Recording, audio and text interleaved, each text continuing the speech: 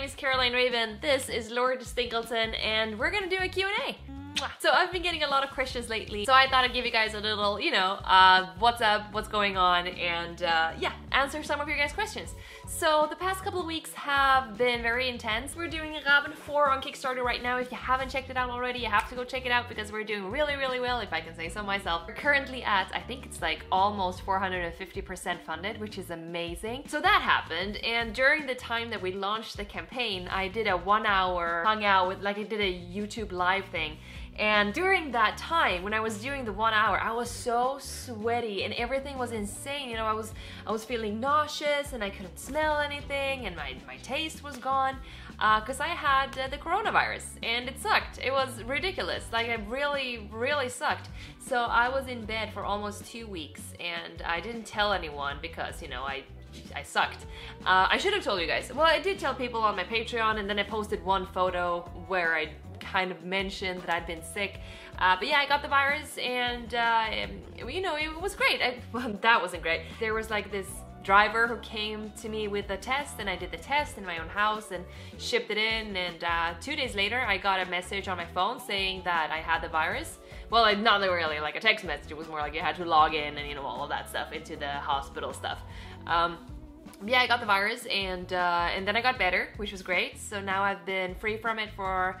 It kind of sounds like an AA meeting. Does well, I've not been coughing for five days now, but that's not. You know, I'm I'm still having like very dry coughs that happens like. Um, it kind of happens like out of nowhere. It's not like I have a sore throat or headaches or anything like that anymore. It's more like it just comes like, you know, like that, and I can't really, like that, you know, and I can't really control when it happens. So today I'm gonna do a couple of questions that I got from my Instagram. So we're gonna take the phone out. Uh, uh, uh, uh, uh. Okay, let's see. Oh, wow. so that was a, uh, a, video of myself. Okay, I'm getting a lot of weird questions, like this one right here. Uh, what planets should align? Don't know. Uh, I don't know, actually. I don't even know how that works. So, what animals should I sacrifice? Preferably none. Uh, so, and it also says, so D random comments picker pick my name on your YouTube giveaways. I'll do my best. It's not, it's, I, okay, so, so if we don't know each other yet, my name is Caroline Ravn, I'm a magician, and I love what I do, it's the best job in the world, and every Friday I do a deck review, and most of the times, it's a 24 hour giveaway, and most of the times I just ask one of my friends, like, oh, can you say a number between this and this? What happens is that we get a random number and that person wins, right? Raining in Stockholm, so everything is like super dark around me. So I have to put like lights up here to make this, you know, look uh, good enough, I guess. Anyways, so this is my, this is my one person couch. You can't really see the end of it, but the end is literally right here. Uh, it's actually really nice. I bought it myself. Yeah, not a sponsored video in any way. Next question is, would you go on Penn and Teller Fool Us? You would definitely be entertaining. Uh, thank you very much.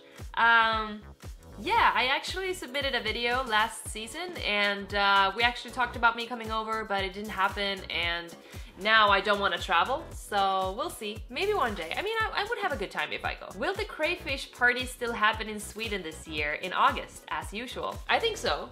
Yeah, I do think so. What is happening with my lights? Do you see that? It's like it's getting weaker and weaker. Crayfish parties are still happening. Uh, we're keeping it limited, of course, and we're keeping our distance. Every year in August, we have crayfish parties where we dress up in like silly hats and, you know, we eat crayfish because it's the best thing in the world. Uh, so we're probably gonna go to a couple of those, me and my boyfriend. Next question. Will there be more up upgrade about the campaign on Kickstarter. Uh, we're upgrading things all the time as we go through different, you know, uh, stretch goals and stuff like that, the more money we like collect into the campaign, the more we can upgrade all the decks. The next thing that's coming is that we're gonna do inner printing on the red and the blue. So that's really, really cool. We're super excited about that. Would you publish your own book, non-magic related topic? Absolutely. Absolutely, yes. What's been your favorite deck to review you have done and who do you watch for reviews? Oh, I don't watch any other reviews. I just do my own and I watch those because I think it's fun. Um, I brought with me the one that I enjoy doing the most. It's uh, this one, Cobra playing cards. I think these are really, really cool. By JP Games, really, really nice. Designed by Rick Davidson. Uh, Cartamundi deck, really, really cool. If you haven't picked it up already, you should. This is really, really good. Who is your favorite magician? Rob Zabrecky. Yes, and Chad Long. They both, uh, they're equal in my book. Um, I also like David Copperfield a lot. I went to go see Criss Angel's show and I really enjoyed it. Yeah, that's about it. Okay, so this is a fun question. If animals could talk, which one would be the rudest? I'm thinking flies, like house flies. I don't know why. That's like my number one thing that I think of. Maybe pandas because they're so cute and maybe they just inner like in inside they're so anxious and angry and they just want to you know get it all out of their system. So maybe. Here's a good one. Who's the best looking magician? Well, I think that I am. Or maybe Andrei Pshenichka. Mm, forever magic crush. When are you gonna come to Philadelphia and visit? Oh, you want to meet to visit you and Frank is tea. Oh, I love Frank. He's so cool. Um, haven't been to Philadelphia, so Link is playing in the background. You wanna come up? Wanna join the video? Yeah, come down. Link is in the video, yeah. Linky Dinky Stinky, oh, you're the cutest. Okay, okay. Help. How many selfies do you take a day? Too many? Move on. What's your favorite flavor of ice cream? Ben & Jerry's Half Baked, 100%.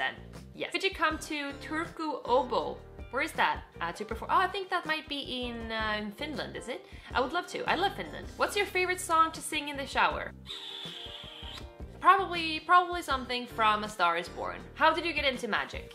My grandfather was a magician and my dad is a politician, so lying on the job was always encouraged, and yes, that is part of my, my script for my show. But yeah, I started doing magic when I was really young. My grandfather did in fact do magic for me and it was great but I've been doing magic full time for almost six and a half years now, and uh, yeah, you know, it's the best job in the world. It really is.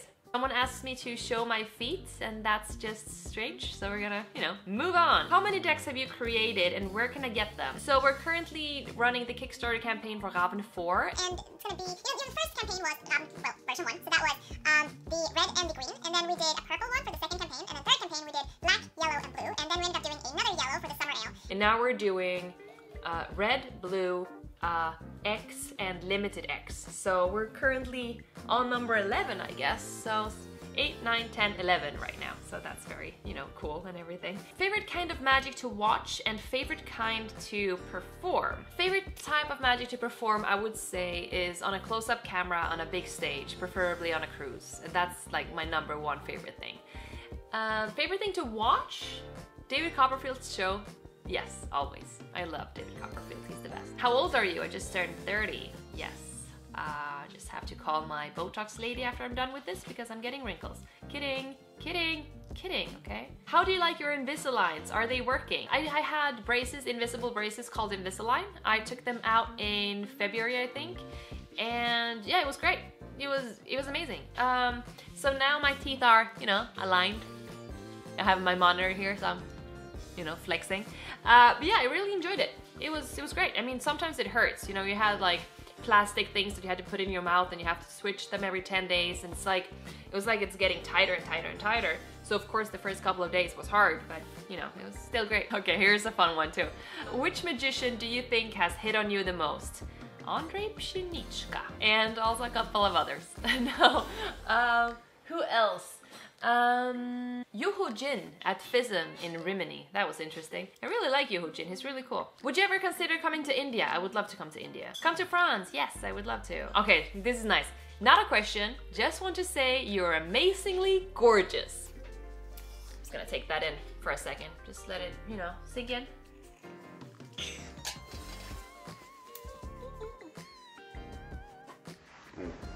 Actually wrote it twice. That was nice. Could you please come back to Norway? I would love to come to Norway. So many good questions, you guys. Do you do sponge balls in walk-around shows? No, I don't do sponge balls. I only do sponge balls when at the end of my my theater show i end my show with benson burner so there's like a million sponge balls so i'm kind of sick of them when i go into close-up so i don't really bring them along with me would you ever consider coming to california yes i go to california once a year at least i'm not gonna go this year unfortunately but you know do you have any advice for getting more gigs I have a couple of really good advice, but you know, it's eh, to sum it all up, I think the more people who see you perform and see who you are, the more, you know, likable you are and all of that stuff, it's gonna get much easier for people to book you. So the more people who see you, the more people are gonna, you know, potentially hire you. So my advice is to just go out and perform as much as you possibly can. Oh, someone says, haha, this might sound scary, but I dreamt about you last night. That's fine. Would you consider coming to Singapore? And I love Singapore. If you haven't been to Singapore, you have to go. Yeah, I do enjoy it really much. Um, I was there, last time I was there was like three years ago and I had a really, really good time. So that was it for the question for today. Really, really enjoy doing it. So thank you for all the fun questions and let's do this again soon. If you haven't already subscribed, it's about time because I put out weekly videos and every Friday there's a new deck review. So there's a new deck review coming out tomorrow. So make sure you don't miss that. So turn on those notifications and I'll see you guys back, well, tomorrow. Okay, bye!